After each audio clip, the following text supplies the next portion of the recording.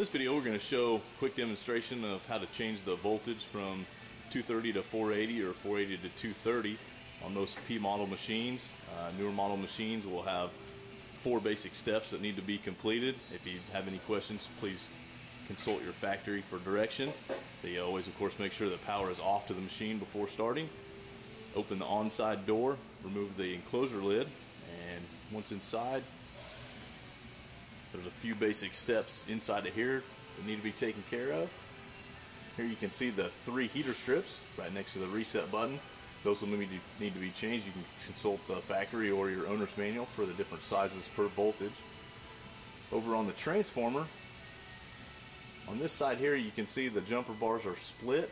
This would be for a 480 volt setup that uh, indicated on the transformer, also in the owner's manual. The, uh, for 230 volt, they would be removed and stacked in the middle location. They uh, stack them both there, so it's there in case it needs to go back to 480. The, uh, on the transformer, you'll see a secondary fuse that will not need to be changed.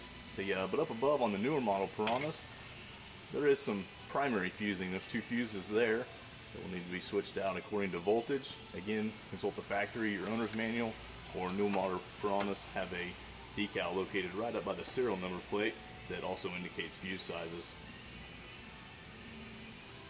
This leads us to the last step of the operation here would be on the other side of the machine, the drop side, and the motor wiring will need to be changed on that side.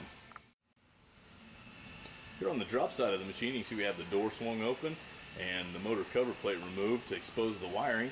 The, uh, you can pull it out and the wire nuts will need to be removed. The, uh, there is a chart, again in the manual, you can consult the factory or there is this nice chart here right above that shows the two voltages, low voltage versus high voltage.